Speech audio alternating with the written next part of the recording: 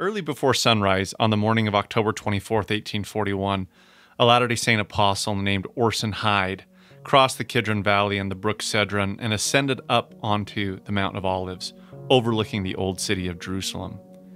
At great sacrifice, Hyde had traveled for dozens of months, all the way from America and across Europe to arrive at this very moment, a moment that had been prophesied he would fulfill years earlier by the prophet Joseph Smith. Shortly after Hyde's conversion to the church, Hyde remembered that Joseph Smith, quote, laid his hands upon my head and pronounced these remarkable words In due time thou shalt go to Jerusalem, the land of thy fathers, and be a watchman unto the house of Israel, and by thy hands shall the Most High do a good work, which shall prepare the way and greatly facilitate the gathering together of that people. End of quote. Sometime after this, Orson Hyde had a vision that lasted six hours, where he saw himself traveling across the globe to preach the gospel and ultimately to visit and dedicate the Holy Land in Jerusalem. Now, in 1841, he was finally there, and with paper and pen in hand, he solemnly dictated a prayer to dedicate the Holy Land.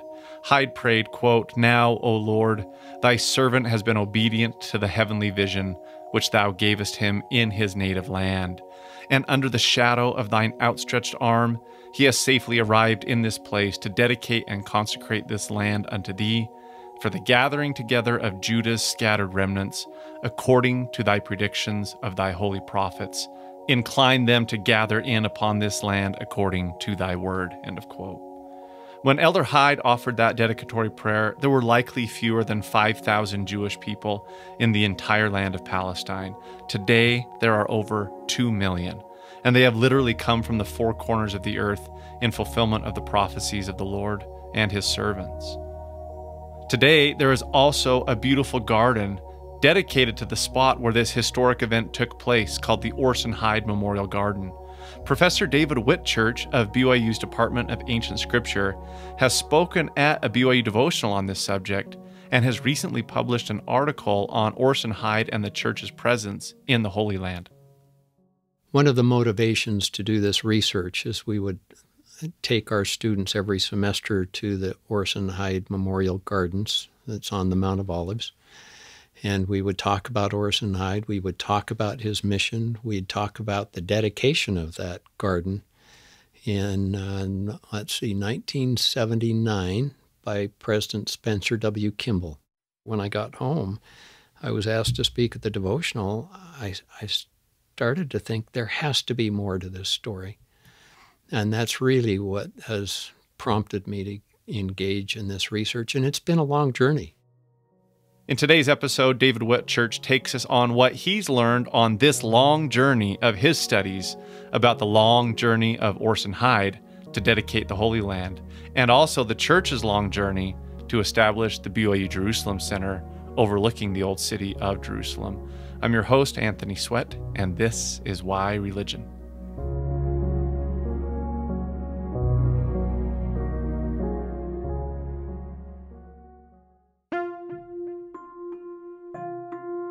Each year, religion professors at Brigham Young University produce hundreds of publications on subjects related to the Church of Jesus Christ of Latter day Saints.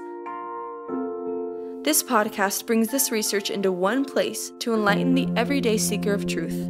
Seek learning, even by study and also by faith. Interviewing the author, we discuss why the study was done, why it matters, and why the professor chooses to be both a scholar and a disciple. This is Y Religion. Research to enlighten your mind.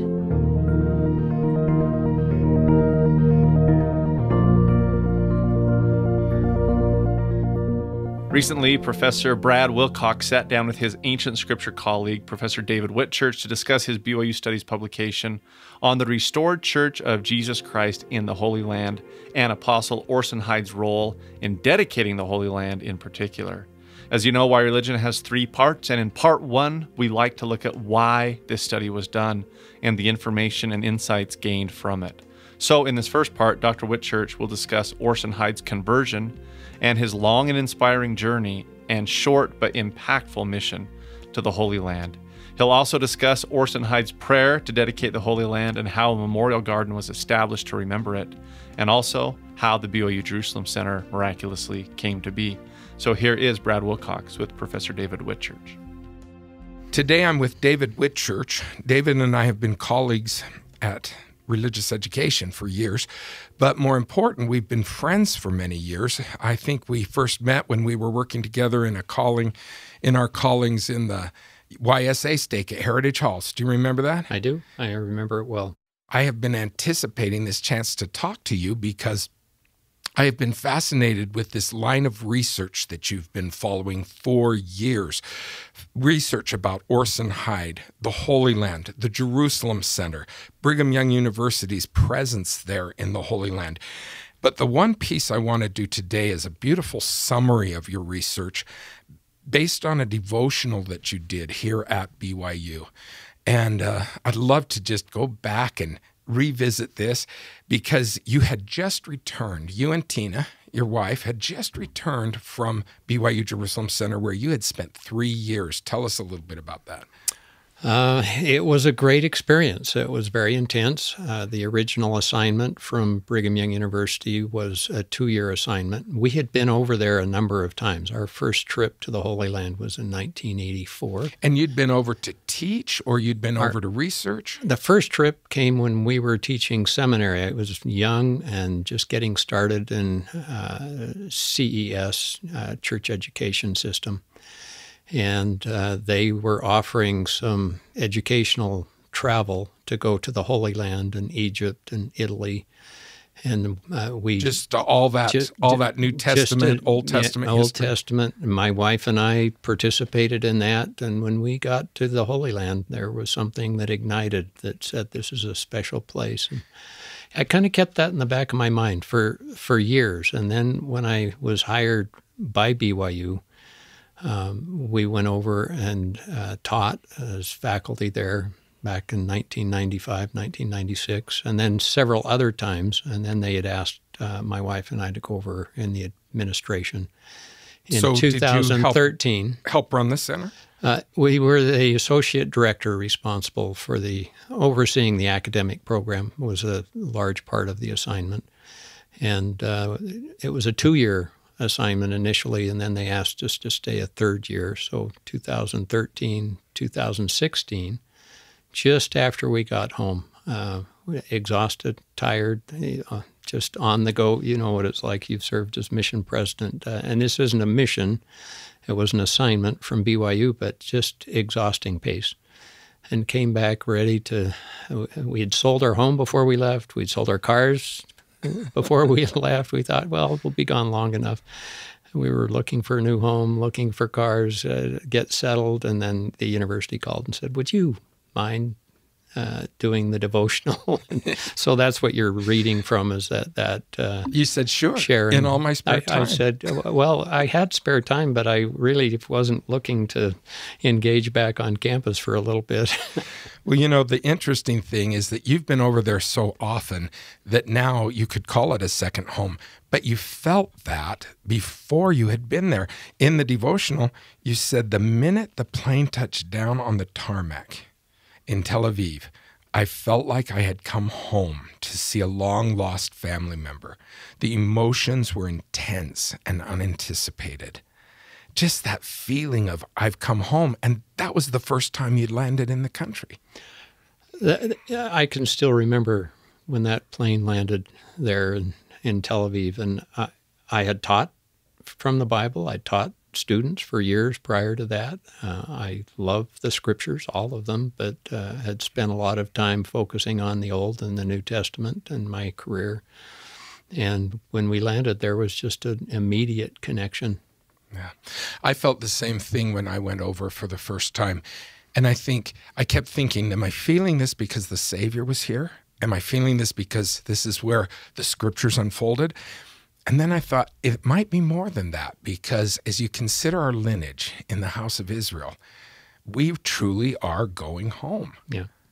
Yeah. And Orson Hyde felt this. He, he did. I, I, I think you probably have it there in front of you. I, I printed a copy before I left of this just to review a few things. And I, when Orson Hyde actually landed, landed. Uh, yeah, he wasn't on he a took plane. A, he took a ship. Uh, but when he gets there, he describes his experience as he comes into that land. Let me just share it with you. He said, uh, "This is." He gets there on a Thursday. It's October 21st. He's only in the Holy Land for four days. Most people don't realize how. Yeah, even though the trip took under just under three years. He, he's 32 months in getting there and getting back home, and there's a whole lot to that story. But he said, as I gazed, this is as he's coming into the Holy Land, coming up from the coast, uh, uh, landed at Jaffa. As I gazed upon it and its environs, the mountains and hills by which it is surrounded, and considered that this is the stage upon which so many scenes of wonders have been acted, where prophets were stoned and the Savior of sinners slain, a storm of commingled emotions suddenly arose in my breast, the force of which was only spent in a profuse shower of tears. And I, I, I, I've gone back and looked at church leaders and others that have had similar experiences um, when they arrive in the Holy Land. There's just something that is special that you connect with when you get there. Let's talk a little bit more about Orson Hyde himself. I we'll we'll talk about his travels because he left from Nauvoo and then gets to Jerusalem, and by the time he goes over and back, it takes him just under three years. But I think even more important than the journey were the feelings that he had before the journey and the things that Joseph Smith said to him. Tell us a little bit about his conversion, Orson Hyde. Um, I'd love to. He he was born in Oxford, Connecticut. Um, when he was seven years old, his mother passed away. He comes from a family of twelve children, and uh, a shock to the entire family. His father was in the War of 1812 and not home very much. And with the death of his mother, the children were hate to use the term farmed out, but really went to different neighbors in the community. Now, did his dad survive the war? He, his his dad did, and then later uh, drowned when he was younger. So he, he had a hard life, and he, he grew up in a home, uh, you know, age seven on, with a farmer that was very demanding. Uh, the farmer eventually, when he was 14 years old, moved to Kirtland. This is before the, The church. farmer or Orson The, Hyde? the farmer who took Orson Hyde, they walked from Oxford, Connecticut to uh, uh, Kirtland, you can kind of see And God's as a- hand in that. as a 14 year old. And this is before the church had established itself or had a presence in Kirtland. And just uh, opportunities that the farmer was looking for and took Orson Hyde there.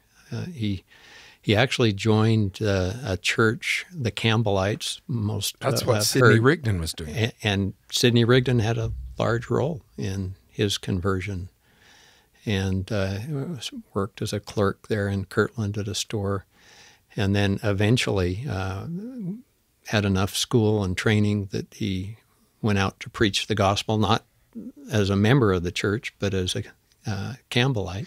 You know what's interesting to me is talking about seeing his hand and the fact that God was bringing him to the Kirtland area, but the store Oh. that he was working at was the Whitney store, Gilbert and Whitney store. Yeah, that's right. That's right. And, and his conversion is one of preaching for the Campbellites. And when, when he first gets word of the Book of Mormon, he reads part of it and then he says, wait a minute, I, this can't be true. And it's not till later Sidney Rigdon joins the church and he says, I need to study this out for myself. I think so many people have that quick impression of the book.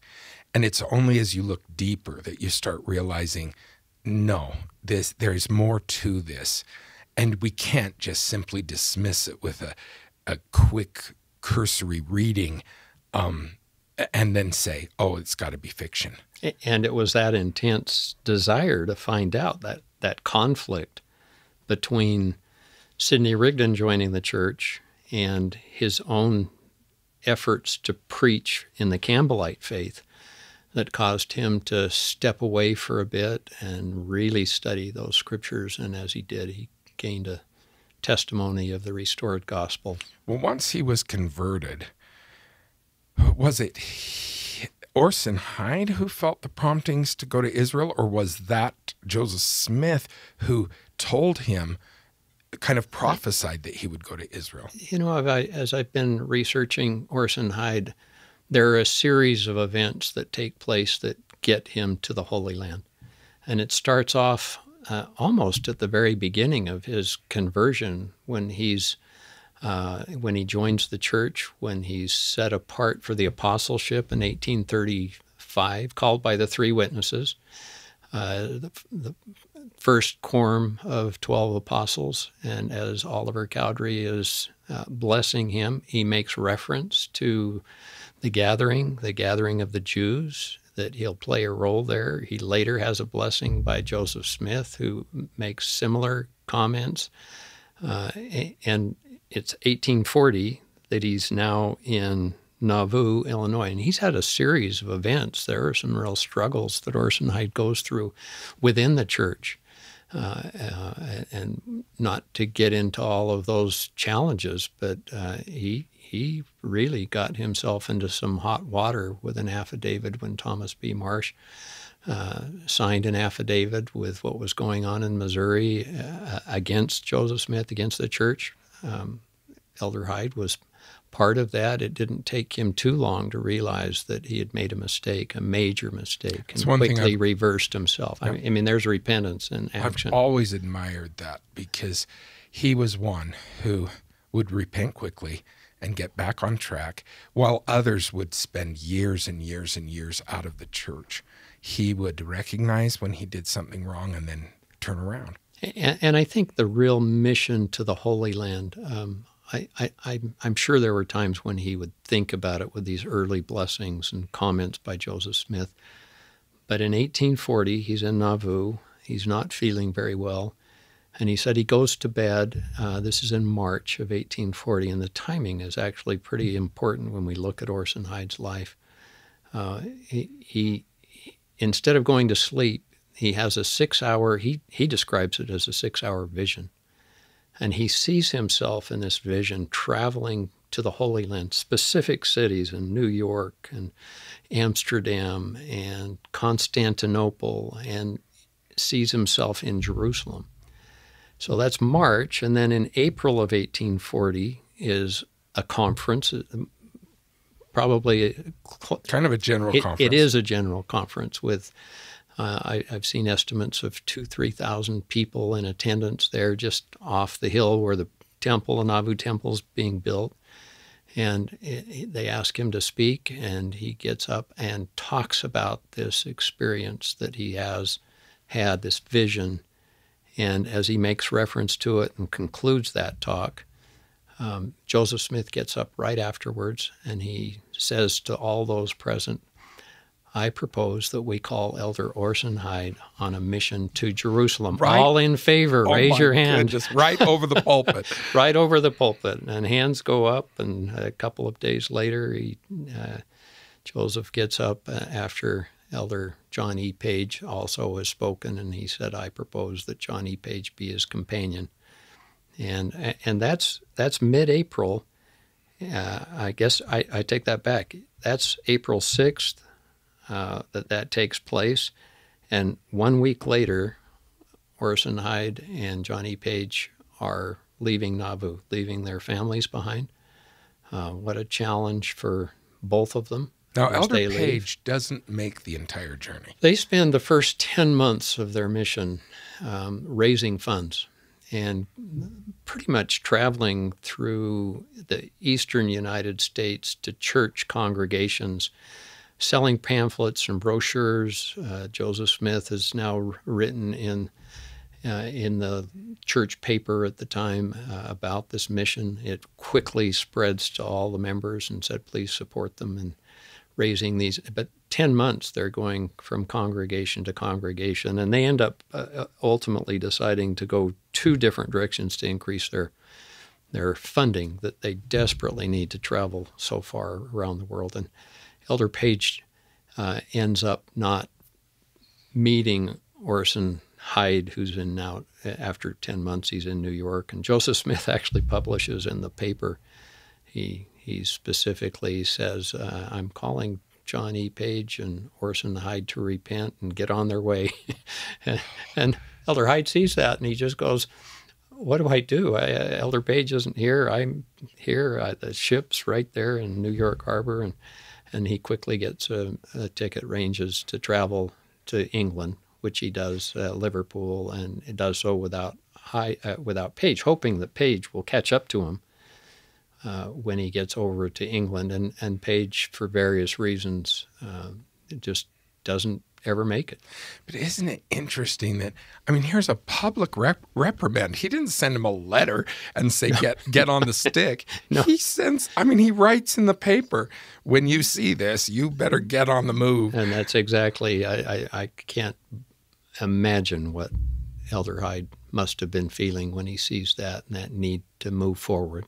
But think of the think of the urgency that Joseph was feeling. I mean, this is 1840. Joseph knows that there's things that have to be done here in the next few years. He knows his time is getting shorter. That's right. And so there is this urgency. He doesn't care about offending somebody. He wants to get the work done. He does. And I, I think Joseph Smith certainly uh, saw the bigger picture of the gathering in the last days, and, and certainly something that we will um, touch on, I'm sure, as we visit more with President Nelson, others. Uh, I think every prophet has focused on the gathering of the house of Israel in the last days. And I, I'm sure he was feeling that as he said, You need to move to that next level, which is get out of the United States. So it's now it's now February 1841 when Elder Hyde makes arrangements to go over to England. Well, before we get him over to Europe, tell us about the miracle that happened in Philadelphia. Well, that's a great story. I'm glad you bring that one up, and and and I love it for two reasons. So, having spent so much time in Jerusalem, uh, one of the one of the motivations to do this research is we would take our students every semester to the Orson Hyde Memorial Gardens that's on the Mount of Olives. And we would talk about Orson Hyde. We would talk about his mission. We'd talk about the dedication of that garden in, uh, let's see, 1979 by President Spencer W. Kimball. Wow with half of the members of the Quorum of the Twelve present and, uh, and thousands of others, mostly members of the church there at that dedication of the, the Orson Hyde Gardens. And we would talk to the students about the story of Orson Hyde. And yet, after reading everything that I could about it, I didn't have time while I was there, but when I got home, I was asked to speak at the devotional. I, I started to think there has to be more to this story. And that's really what has prompted me to engage in this research. And it's been a long journey, a longer journey than I ever anticipated. Uh, COVID has been a challenge. In fact, I, I'll just put this out there now. But when COVID started, um, March in 2020, if I can remember yep. that date, and um, I started to think in terms of some of Orson Hyde's experiences that he wrote about. And I knew that Orson Hyde had been in quarantine on that trip to the Holy Land. In fact, 34 days he was in quarantine. And, and in Italy, he was in quarantine. In Egypt, he was in quarantine. He was going through health stations when he got into the Ottoman Empire just like we see today. So what we lived through is not unlike what he was oh, going through. It's exactly what he went through. And so I decided I would do uh, a little research on that, and with COVID and teaching online and everything that uh, we that all of the changes that that demanded, it's taken me a lot longer to get through some of this research. well, I'm glad you stuck with but it. it. But it, and it's still going. I I hope we get that uh, published here in the next few months. Uh, Orson Hyde in quarantine, I think we'll call it. and it's probably a little behind the curve, you know, as we start seeing some uh, things settling down a little bit with with quarantines and COVID, and hopefully that will continue But that will to get be better. so interesting for you to draw, make those connections. it's been really fun. well, let's go back to Philadelphia Sure. because Okay, there's thank you something for that. happens there that's a turning point. So raising the fund, uh, getting those funds in place were really, really important, and how to um, how to finance that trip. And you can imagine that the, the majority of the church is localized in eastern United States, and most of the money that they're getting uh, would be coming from members of the church. But when Elder Hyde, Elder Page would go into an area where a congregation would, they'd be speaking, and they would speak to whoever would listen. And so in these public meetings, and they would tell about this call to go to the Holy Land uh, for the gathering of the house of Israel. And in Philadelphia, uh, Elder Hyde didn't even know the name of the individual, not a member of the church. Uh, it turns out much, much later, the name is Joseph Beck. And I, and I love the story in part because my son in law is named Joseph Beck, who happens to be a direct descendant of this person that was listening to Elder Hyde in Philadelphia and who uh, went home and then sent his son back. Now, there are different family versions of this story, and I've been gathering those along the way, and I'm not sure which is the most accurate version, but uh, from what I can gather, sends a, a son back to Philadelphia to give Orson Hyde a, a, a bag of gold, a gold coin, I suspect. And that is a major, major impact on his ability to get over to the Holy Land and travel. Once you get to Europe, his fundraising is very limited. The English saints that are converting don't very have poor. very much. And once you leave England, there are no members of the church beyond that. And so this uh, this experience that he has from Joseph Beck in in Philadelphia uh, ends up to be a tremendous blessing. What does Joseph Beck ask for in return for He says, "Remember my name," and so we literally see in the prayer Orson Hyde remembering the name of the individual who gave him the money, but he doesn't mention the name because he doesn't know it. Yeah, I think it's great. I'll read it here. Look with favor upon all those through their liberality. I have been enabled to come to this land. Particularly, do thou bless the stranger in Philadelphia. There it is. yeah, that's a great story. Now, later you say that it was Nephi Morris who was speaking in 1924 about this and I still didn't know the name. And then somebody in the congregation came up and said, That was my father. And so the story is is that Joseph uh, Beck converts to the church. His wife is, was already a member, so there was a connection there. And then they they end up moving with the saints. Tell us west. about a very special thing that you arranged on the day you gave this devotional.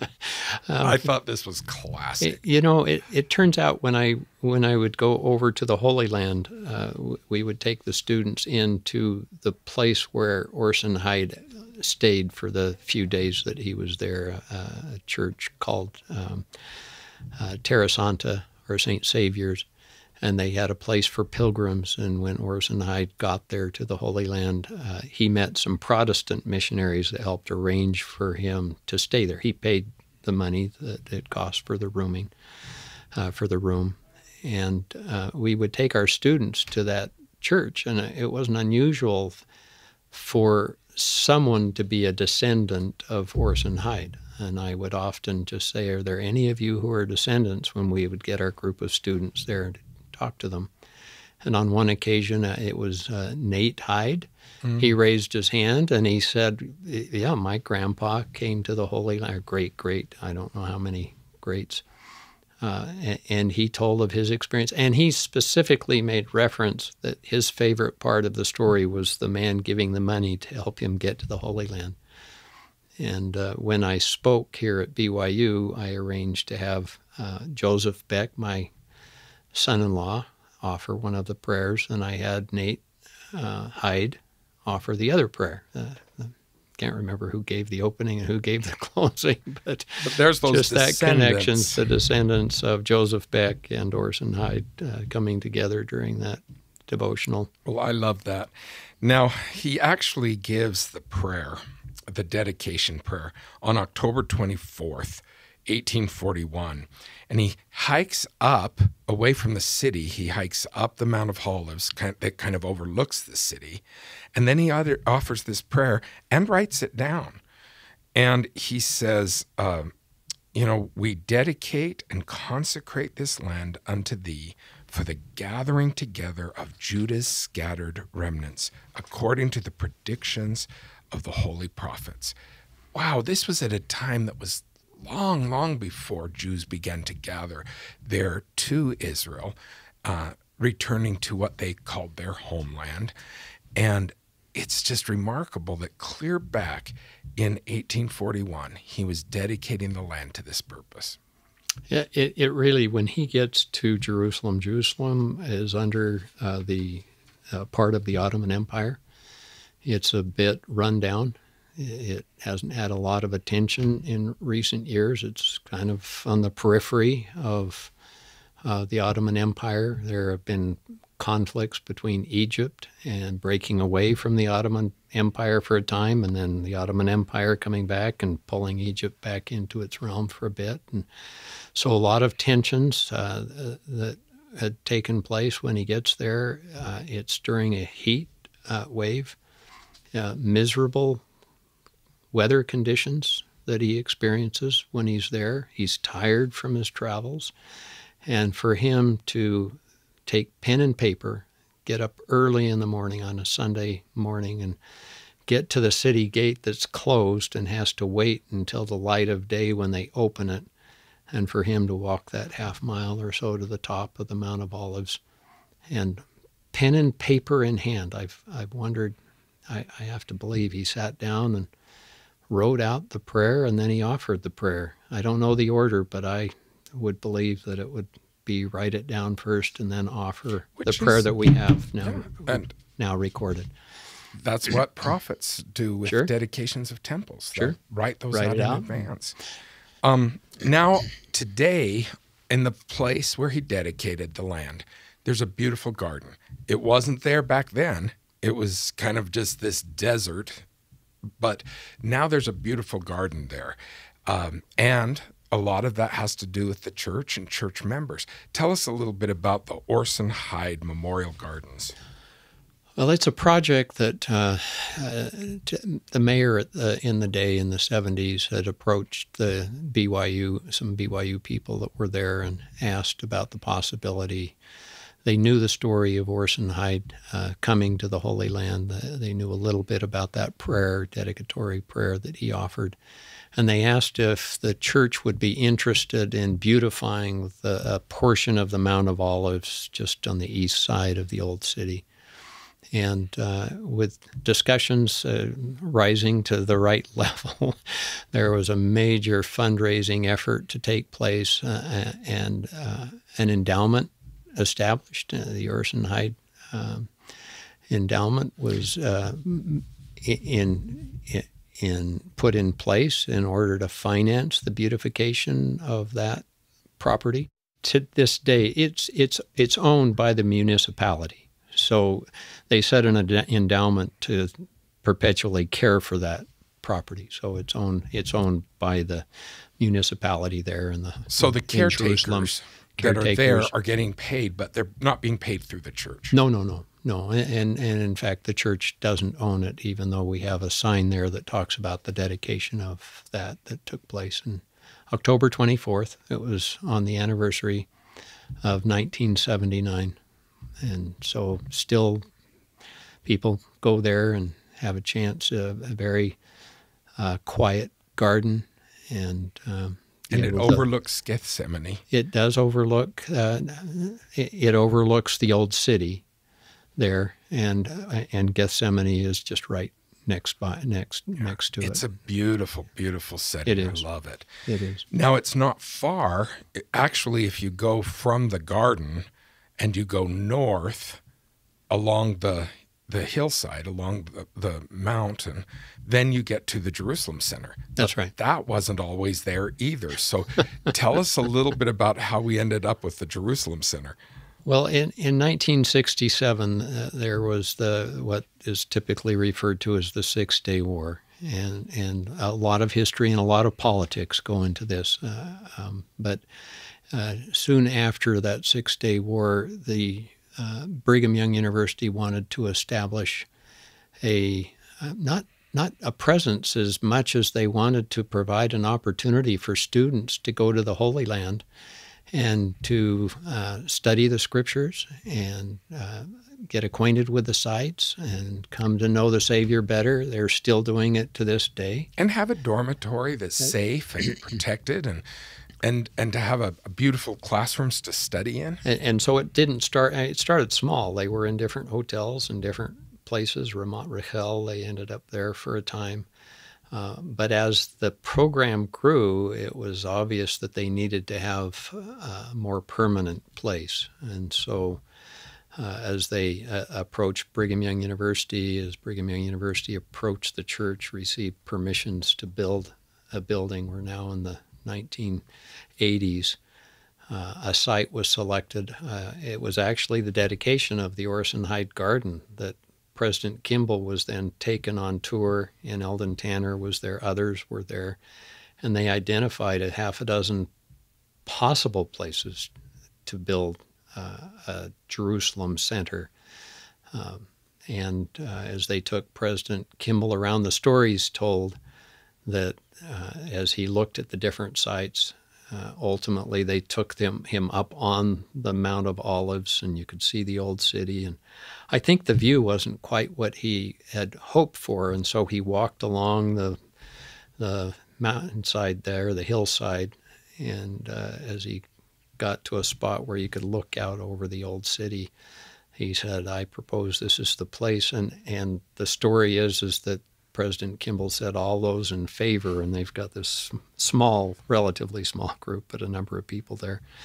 Uh, raise your hand and so he took a hands page, would up. He took a page out of out of uh, Joseph Smith's book, calling Orson Hyde over there. I guess that's at the true. very beginning. I had never made that connection, but I guess that's really right. And and then to find out that that land was really not a piece of property that would be easily well, it had obtained. been zoned green belt. That's right. It was green belt, and it wasn't uh, intended for construction. And the process of as getting, if anything in Jerusalem is green, but in, in, spring it's green Yeah. for about two weeks.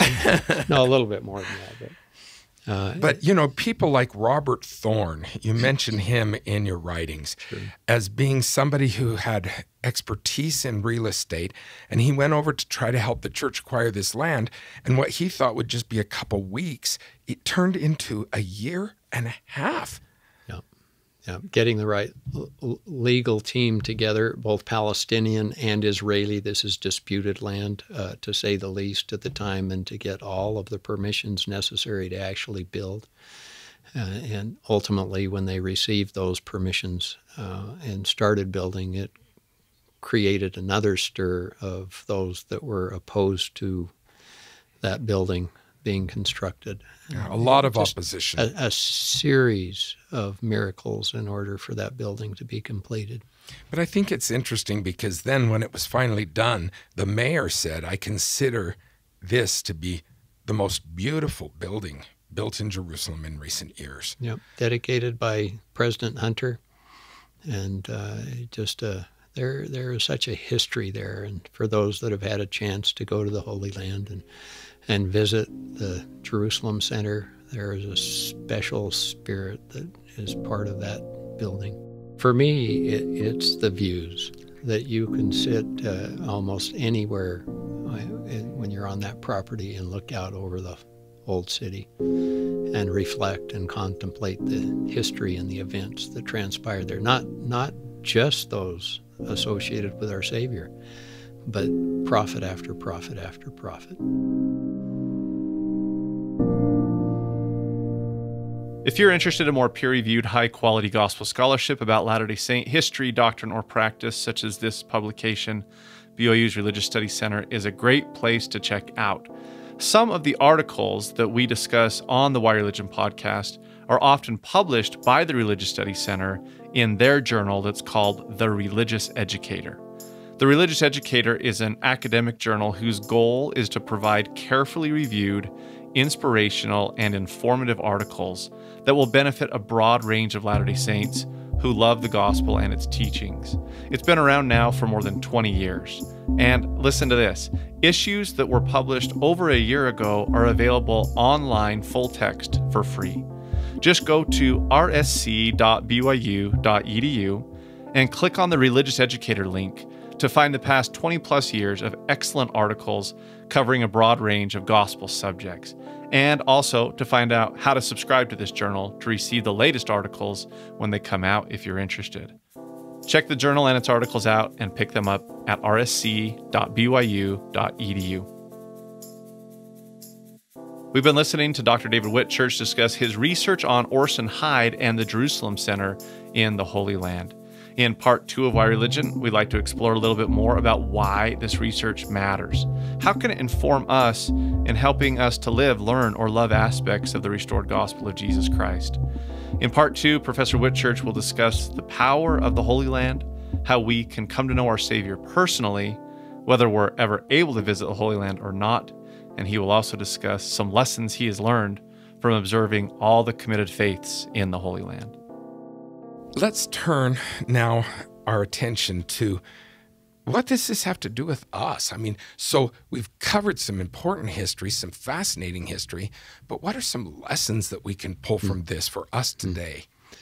I love that question. And, and I, I, think that's a question we ask whenever we read the scriptures, when we study church history. It's nice to know the facts, but it's more important to find ways in which we can learn from those facts and come to know our Savior better. And, and for me, the Holy Land, as I've described earlier, is a special, uh, a special place. I, I love Jerusalem. Uh, there hasn't been a time that I've gone that I don't feel a connection to that special land. And for me, it's a way to appreciate the reality of those that walk that place. It's a way for me to recognize that the Savior lived and taught and was crucified uh, and then resurrected in that land. Yes. But but just as important as that, I've come to realize you don't have to go to the Holy Land to come to that knowledge. I, I mean, it's it's nice that you can get there, but not everyone will get there. In fact, the majority of people that are part of the restored gospel don't get that opportunity to go to the Holy Land. Um, but we do have a way whereby we can come to know our Savior as we study these scriptures. We see the reality of these places and the, the reality of the people that live there. Yes, very and the true. testimony that they give us of our Savior. I think uh, you've probably hit the major lesson right on the head uh, because this is all about coming to know the Savior better. But I think one thing that sticks out to me as I look at this is that Orson Hyde, of all people, I mean, were other people having these promptings about going to dedicate the land of Israel? And yet he kept feeling these promptings. He kept having prophets tell him that he needed to do this. And I think in my own life, I can look back and see how God has just nudged me and nudged me and nudged me to do some things. Hmm. And I think of you. I mean, how many faculty members are in this building, in the Joseph Smith building at BYU, and yet it's you who's done this research? So, what is it that it's like God has a work for you to do, and He just keeps nudging and nudging and nudging until you do it. He's not nudging anybody else to do this research, but He keeps bothering you about it and keeps saying, You need to get this done, David. And I think that's something that even if people can't go to Israel, that's a lesson we can take away from this. Well, I, I, appreciate it. I appreciate your comments and uh, the nudging to get this done. It's been a long time coming, and every time I, I, I, engage in it, uh, I, I find more more information, more things that I want to share. so thank you for the reminder get this written up. It's it's time. You know, all in favor, raise your right hand. you know, let, let me backtrack just a little bit because I I have been so impressed as I've done this research. When Orson Hyde gets to the Holy Land, go back uh, that far, he meets three Protestant missionaries and these are missionaries that were sent by an organization in the U.S.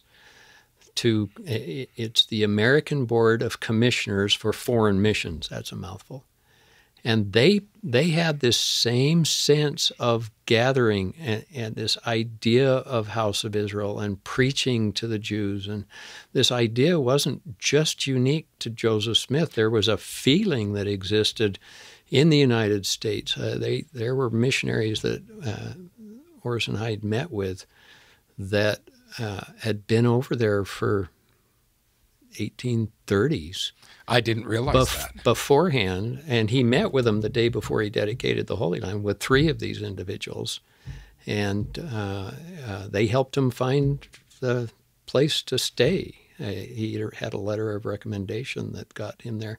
So there's this sense, and yet Joseph Smith, he has that that calling as prophet and sees the larger picture of the gathering of Israel while they weren't doing as much missionary work as introducing the people to Christianity itself and not with the intent to convert and baptize, so to speak.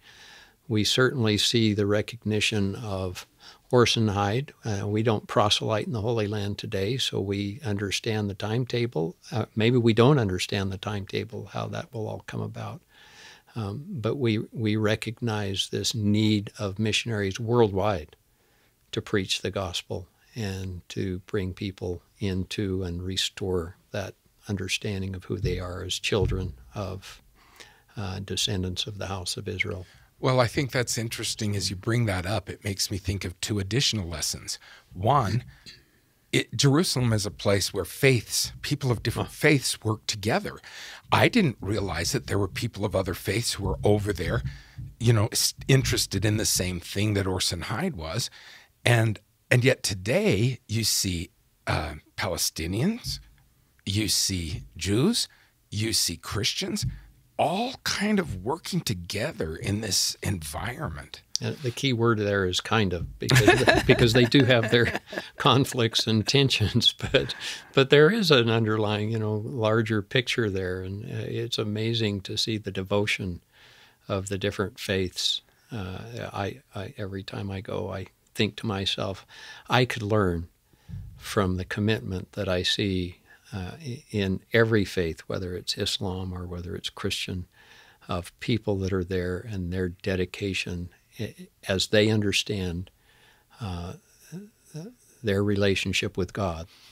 That yeah, there are the lessons I can learn uh, about myself and ask myself, I can I could do better.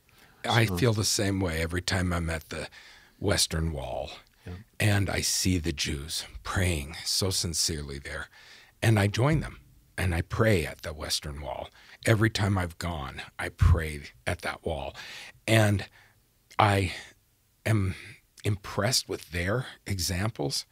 I, like you, say I've got to try to do better and be a little more dedicated, but I also pray for them that one day yep. they'll be able to to uh, truly participate in the gathering that President Nelson's talking about, a gathering of Israel to the church, a gathering of these children of the covenant to the covenant. And that's going to be a glorious day.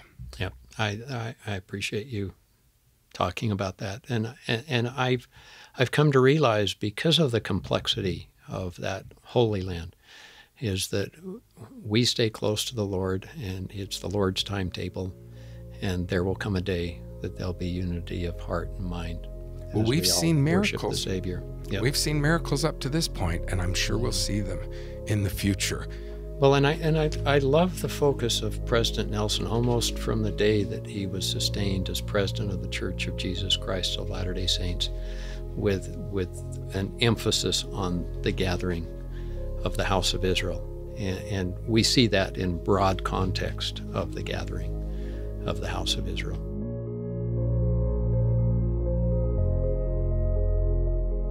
If you're interested in reading all of Professor David Whitchurch's article, quote, The Restored Church of Jesus Christ and the Holy Land, end of quote, published by BYU Studies, we have provided a link to it on our website at yreligion.byu.edu. That's the letter Y, then religion.byu.edu. There, we've also given a link to watch uh, David's BYU devotional called Orson Hyde, the Holy Land, and Brigham Young University, along with a link to learn more about Professor Whitchurch and his research. All right, let's move into our third part, segment three, where we like to discuss things a little bit more personally with the professor, specifically why they chose to come to BYU to be a religion professor and why they believe in the restored gospel of Jesus Christ. So we conclude this great episode with Professor Whitchurch giving us insights into these two why questions. Well, let's end, David, just talking about your own personal journey. How did you come to BYU? How did you end up teaching here? And how do you stay strong in your faith and testimony of the restoration? Well, great questions. Uh, how long do we have? You've got exactly two and a half minutes. okay. primary talks that we used to give, two and a half minute talk. I can do that. Um, you know, it was a journey I hadn't anticipated. I, I think for me and my colleagues here, if you talk to most of us, you find that they have their own story about coming to BYU. And mine is similar in that it wasn't my end game. Uh, I, I have a my first degree is in wildlife science, and I was uh, teaching at the Salt Lake Mission Home. Uh, this was a calling back in the day. A mission president had recommended me to teach there, and I my passion for teaching sort of ignited, and yet I continued on this path towards my uh, degree in wildlife. Worked for the Fish and Game during the summers as an intern, uh, and yet there was something about teaching in the classroom, and so. When well, I, sometimes I, classrooms are full of wild. Well, well, okay, we won't go there, but that's true. and, and, there really was a, when I got married, I started thinking, you know, what's where does the Lord want me? And and that's the question we all need to ask. And sometimes uh, He pushes us and pushes us in a direction we don't anticipate. And that was my experience. I went from wildlife, getting that degree, and a week later starting teaching seminary and somehow had been accepted to teach going through a, a program for seminary teachers. And uh, as I started teaching seminary, that ignited interest and passions and furthering my education and eventually getting a PhD. And, Where did you get it? Uh, here at BYU. And uh, it, it, it, was a huge blessing. I uh, went from finishing my PhD here, and they sent me up to Canada, but with an idea that I really wanted to go back to the Holy Land after I'd been there as a young seminary teacher and uh, didn't know how that would work out. And I thought, you know, they have a Jerusalem Center building now when I started thinking this way. And maybe there's a chance I could go over as an institute teacher or a religion teacher at the center. And one thing led to another, and doors opened, and I ended up being asked to come to BYU. I showed an interest, and fortunately, very fortunately, um, they asked if I would be interested in teaching here. Well, we're glad so, that they asked, and we're glad that you accepted. Now, tell us a little bit about your own testimony. How have you been able to stay strong in your commitment to and your uh, testimony of the restored gospel? Great question, and and one I love to share. You know, I it, it's hard in the sense that I grew up in the church. My father was a convert, joined when he was in the military, World War II. He's since passed away. Both my parents have. Uh, my mother was a member. Her her ancestry takes takes our family to William Clayton. Um, when my mother was early 20s, I suppose. I uh, my my father was in the military in California, and they met at a dance that was sponsored by the church for military. Uh, and she met my dad, and he was assigned in Washington, and they started writing letters. And pretty soon he joined the church, unbeknownst to my mother. And um, I grew up in that home, nine children, and they were faithful. My dad was committed to the restored gospel, so we grew up having family prayer and and trying to do the home evenings. We we did well sometimes and yeah, up and down a little yeah, with bit. With nine but, kids, but they were my, they were committed uh, to the gospel, and I grew up in that environment. And so, for me personally, I don't know that I ever challenged the truthfulness of the restored gospel. It was strengthened over time with multiple experiences. I served a mission, loved the mission experience, but I had a testimony long before that. And that testimony is uh, persevered. I, I made a commitment on my mission to read my scriptures daily, and I've held to that as a personal challenge uh, to this day and spend time in those scriptures. And uh, I, I just find that, you know, you have questions that come up, but not questions that distract from the faith, questions I want to know, but with an underlying understanding and knowledge that the gospel is true, that Jesus is the Christ, that Joseph Smith saw God the Father and the Son. And, and that uh, runs deep in who I am as a son of God. And uh, it's just being faithful to that knowledge. And as matters arise and challenges confront us to stay true to those basic um, truths of Joseph Smith as a prophet that were led by living apostles and prophets to this day.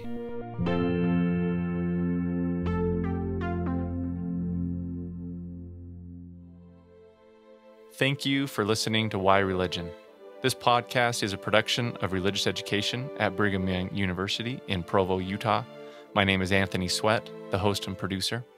The Y Religion podcast team also includes from BYU Religious Education professors Brad Wilcox, Casey Griffiths, Ryan Sharp, and Hank Smith. Recording, mixing, and original music was done by BYU student Mitchell Bashford. Say hi, Mitchell. Hey, guys. Original music and scoring for Y Religion podcast was also created by the fabulous BYU student musicians Grant Cagle, Sam Clausen, Colette Jones, and Alistair Scheuermann. If you enjoy what you've heard, please like and subscribe to Y Religion on wherever you get your podcasts and leave us a rating. It really helps. And join us next time as we continue to bring the everyday Latter day Saint fascinating gospel studies done by Brigham Young University religion professors to enlighten your mind and strengthen your faith.